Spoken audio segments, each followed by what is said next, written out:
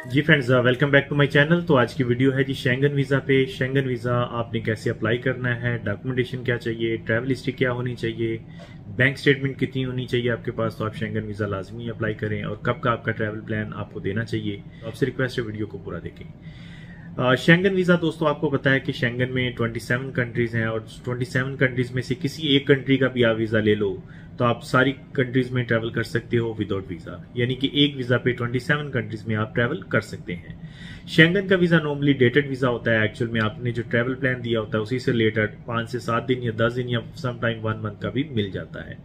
Depend करता है visa officer पे कि उन्होंने आपको वीज़ा कितने टाइम का देना है। और मोस्टली फ़र्स्ट टाइम जो होता है वो सिंगल एंट्री ही मिलता है। और आपसे रिक्वेस्ट भी यही है कि जब आप नया फ़र्स्ट टाइम वीज़ा अप्लाई करें शेंजन तो आप कोशिश क्या करें कि सिंगल एंट्री ही अप्लाई करें। कुछ दोस्त हैं जो वो गलती कर देते हैं कि फ़र्स्ट टाइम जब अप्लाई करते हैं तो उसमें भी मल्टी एंट्री या डबल एंट्री वीज़ा अप्लाई कर देते हैं। तो कोशिश क्या करें कि जब भी आप फ़र्स्ट टाइम अप्लाई करें शेंगन वीज़ा तो आपने सिंगल एंट्री ही अप्लाई करना है। और ट्रैवल प्लान जो आपने देना है, आपका बहुत छोटा देना है। पाँच से छह दिन या सात दिन। इससे बड़ा ट्रैवल प्लान नहीं दें, क्योंकि फ़र्स्ट टाइम अगर आप अप्लाई कर रहे हैं तो उसमें फिर रिजेक्शन के चांसेस बढ़ जाते हैं।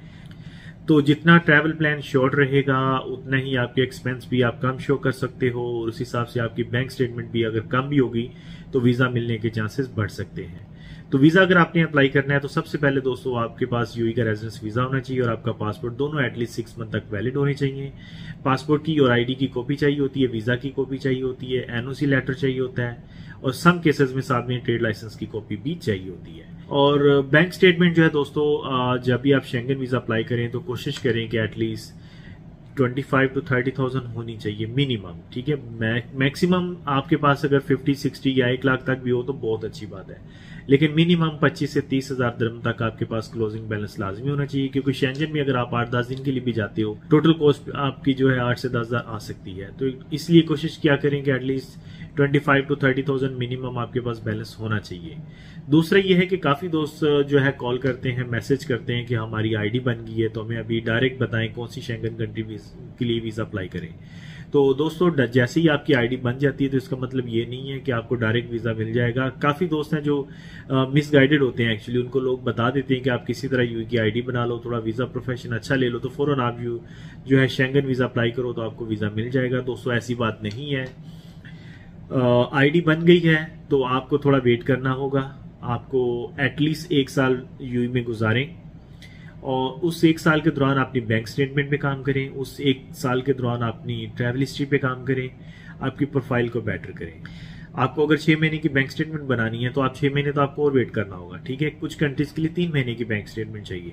फिर आपको कुछ ट्रैवल करना है तो उसके लिए आपको कुछ तीन चार कंट्रीज़ का ट्रैवल भी लाजमी करें, ठीक है?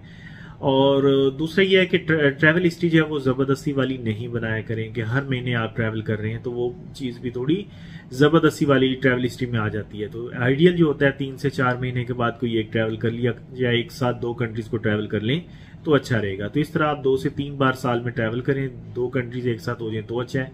डॉक्यूमेंटेशन की जो बात की जाए दोस्तों तो पासपोर्ट वीज़ा आईडी की कॉपी चाहिए होती है, आपकी एक फ़ोटो चाहिए एनओसी लेटर चाहिए होता है, साथ में ट्रेड लाइसेंस की कॉपी भी चाहिए होती है कुछ कंट्रीज़ के लिए। आपकी थ्री थ्री मंथ की या सिक्स मंथ की बैंक स्टेटमेंट चाहिए होती है होटल बुकिंग फ़्लाइट रिजर्वेशन और आपका जो है ट्रैवल इंश्योरेंस चाहिए होती है ट्रैवल प्लान चाहिए कवर लेटर चाहिए आपका और पुराने आपने जो ट्रैवल किया वो वीज़ा की कॉपी साथ में लगा सकते हैं टेनेंसी कॉन्ट्रैक्ट लगा सकते हैं, आप अपना जो है ड्राइविंग लाइसेंस की कॉपी आपका जो है कार मुल किया होता है, वो साथ में लगा सकते हैं। अगर आप फैमिली के साथ कर रहे हैं तो वाइफ का और आपका जो मैरिज सर्टिफिकेट है, वो साथ में लगा दें। बच्चे हैं साथ में तो बच्चों का बर्थ सर्टिफिकेट लगा दें। और एक बोनाफाइड सर्टिफिकेट मिलता है स्कूल से, अगर बच्चे स्कूल गोएँगे तो वो भी साथ में लगा दें। तो उससे क्या होता है कि एक स्कूल की तरफ़ से भी प्रूफ चला जाता है कि वाकई आपके बच्चे स्कूल में पढ़ रहे हैं। ठीक है जी? तो इस तरह आपकी कंपनी के डॉक्यूमेंटेशन आपकी पर्सनल डॉक्यूमेंटेशन बच्चे हैं तो बच्चों के डॉक्यूमेंटेशन साथ में लगाएँ ट्रैवल हिस्ट्री साथ में लगाएँ तो चांसेस काफ़ी बढ़ जाते हैं आपको वीज़ा मिलने के लिए। और प्लान जो होता है हमेशा छोटा दिया करें, पाँच से छह दिन या मैक्सिमम सात दिन, इससे बड़ा ट्रैवल प्लान नहीं देना आपने शेंगन वीज़ा के लिए। शेंगन वीज़ा की अपॉइंटमेंट काफ़ी देर से मिल रही है, आपको पता है, एक से डेढ़ महीना या दो महीने लग जाते हैं समटाइम तो इस टाइम दोस्तों, जो आइडियल ट्रैवल प्लान बन सकता है, क्योंकि अभी समर वेकेशन तो गुजर गई है। अब नेक्स्ट आएँगी विंटर वेकेशन जो कि दिसंबर में आती हैं। आपको पता है कि दिसंबर का लास्ट टू वीक्स जो होते हैं, वो नॉर्मली विंटर वेकेशन के होते हैं। तो क्रिसमस न्यू ईयर होता है तो उस दौरान जो है काफ़ी लोग ट्रैवलिंग भी करते हैं यूरोप की तरफ़, ठीक है?